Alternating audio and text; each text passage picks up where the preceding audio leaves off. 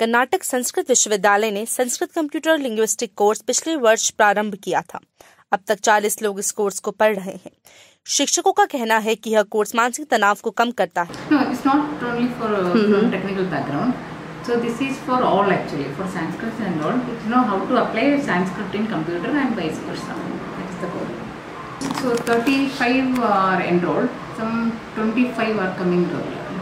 Oh. The, yeah, yeah, yeah. And also this cultural uh, growth, everything. And for the knowledge also, knowledge sake. Because you know, if you learn Vyakaranam, so the Vyakarana and uh, Shastra, uh, Veda and all, so then your memory power gets increased.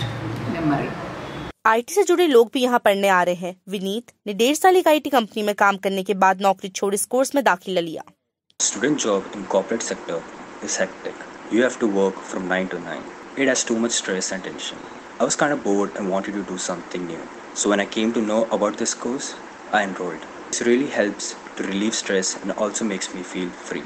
Course का लक्ष्य संस्कृत की संस्कृति को बढ़ाना दुनिया की भागदौड़ में जहाँ चारों तरफ़ टेंशन का माहौल है वहीं उसी तरफ़ कर्नाटका संस्कृत विश्वविद्यालय ने एक इस तरीके का पाठ्यक्रम शुरू करा है जिससे लोगों को न केवल चिंता मुक्त करा जाएगा बल्कि उनके मानसिक स्वास्थ्य को भी देखा जाएगा